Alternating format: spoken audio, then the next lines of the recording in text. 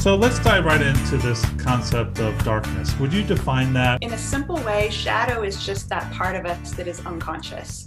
And it's also the space where, as you mentioned at the beginning, the we don't necessarily love about ourselves dwell there. So, you know, anytime we react from anger, we're coming from shadow.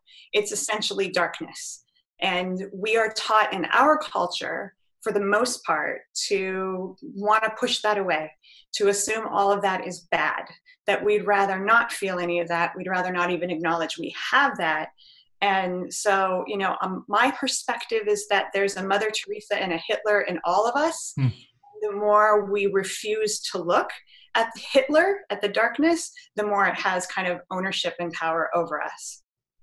So Hitler's a pretty extreme example. It's a great example.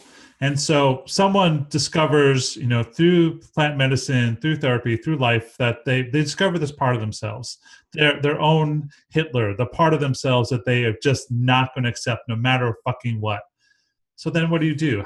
Well, the most tangible way I know to do that is to ask them to first look at the results in their lives for that the choice of resistance. So if we have resistance to our anger and we push it down, it's going to show up in our life somewhere, whether it's in our relationships, our relationship with ourselves, our job, our relationship with our kids, somewhere, if not everywhere in the results in our lives, that resistance to shadow is causing conflict, is not creating the life that we want. Mm. So the first thing is to ask somebody, are you happy and content with the results that you're creating with this kind of denial of shadow? And if they're honest, the answer is always no. So the next step is, and it's very individual to each of us, but mm. it's time to actually feel that energy. So let's use anger as an example. Most of us do one or two things with that shadow energy. We either stuff it down and resist it, or we mm-hmm. vent, we blow up.